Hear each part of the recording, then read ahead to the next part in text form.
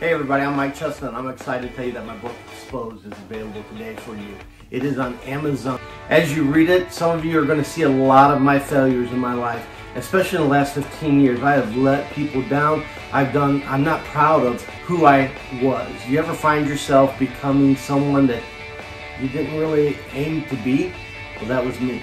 You know, this is not a book about my failure. It's a book about his restoration in our lives. Some of you are going to be able to relate to this book. Some of you are going to be able to feel like you can identify because of failures and things. But let me tell you, we are not the sum of our failures in life. But in fact, our failures can make us a better person. But only if we acknowledge them and we seek to fix them.